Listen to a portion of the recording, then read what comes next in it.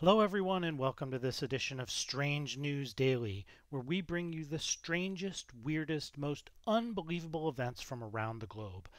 And today's story is no exception.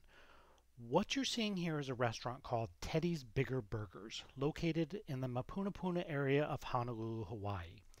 Now, this is a burger chain who had to close its location because of two dumbass employees who, instead of just doing their jobs and flipping burgers like they're supposed to be doing, they decided it would be a good idea to cook a rat on the same grill where they cook the customers' food.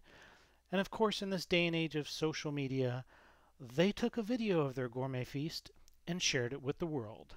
Take a look here for yourself.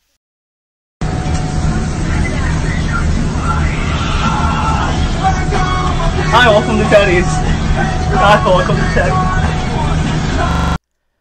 Fortunately, the restaurant chain did the right thing and promptly fired these employees, so kudos to Teddy's. Thanks everyone for watching. Be sure to like us and subscribe. We'll see you next time.